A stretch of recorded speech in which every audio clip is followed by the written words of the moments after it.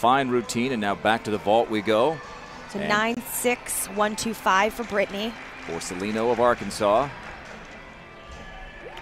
And there's her first vault. Yurchenko full, probably the vault that she's competed all season.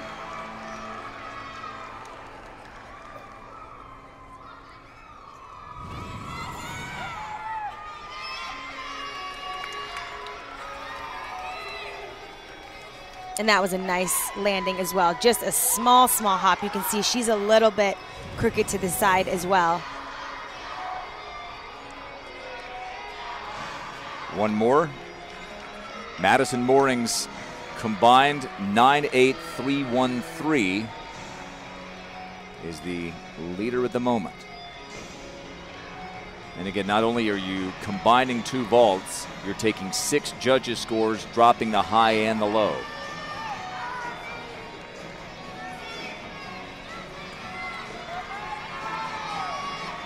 She gets the signal, the green flag.